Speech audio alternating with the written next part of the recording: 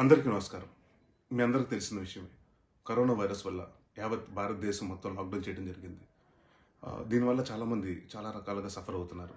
అలాగే మా ఎక్స్టెండెడ్ మా సినిమా ఫ్యామిలీలో చాలామంది డైలీ వేజెస్ కోసం పనిచేసే వాళ్ళు వాళ్ళు కూడా అంటే చాలామంది ఉంటారండి. కార్పెంటర్స్ కానివ్వండి లేకపోతే డ్రైవర్స్ కానివ్వండి ప్రొడక్షన్ బాయ్స్ కానివ్వండి సెట్ అసిస్టెంట్స్ కానివ్వండి క్రెయిన్ వాళ్ళు కానివ్వండి ఇలాగా. మా నాంది టీంలో దాదాపు యాభై మంది ఉన్నారు డైలీ వేజెస్ కోసం పనిచేసే వాళ్ళు.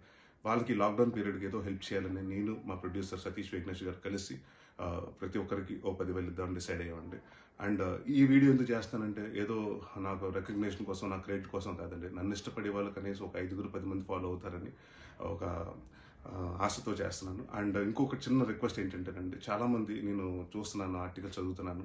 ఇలాగా మా ఇంట్లో పనులు రావద్దన్నామండి. అని మంచి మంచి డెసిషన్ అండి.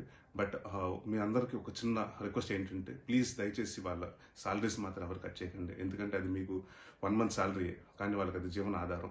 అలాగే మీ చుట్టుపక్కల ఎక్కడన్నా డైలీ వేజెస్ కోసం పనిచేసే వాళ్ళు ఉంటే మీ వంతు సాయం మీరు చేయండి.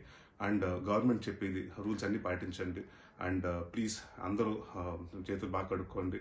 And stay home stay safe